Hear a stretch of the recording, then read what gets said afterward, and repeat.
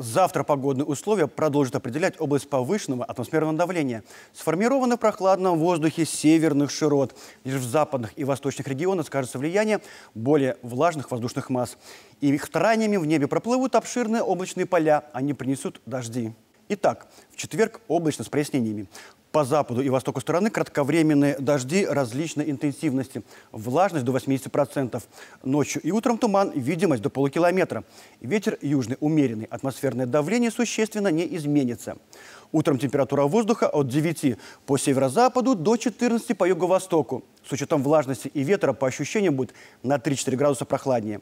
В середине дня столбики термометров на отметках от 13 по западу до 20 по северо-востоку. К вечеру от 13 в западных районах до 17 в северо-восточных. В пятницу сохранится влияние области высокого атмосферного давления, на фоне которого пройдут малоактивные атмосферные фронты. По юго-западу и северо-востоку страны кратковременные дожди, вероятны грозы. Влажность до 90%. Ночью и утром слабый туман, видимость до километра. Ветер неустойчивый, умеренный, при грозах порывистый. Температура воздуха ночью от плюс 5 по северу до 14 по юго-востоку. Днем 16-23. В последние выходные лета по-прежнему прохладно. На большей части территории пройдут дожди. У меня все. И не забывайте подписываться на наш телеграм-канал «Рябов ответит». И вы узнаете все о погоде и не только.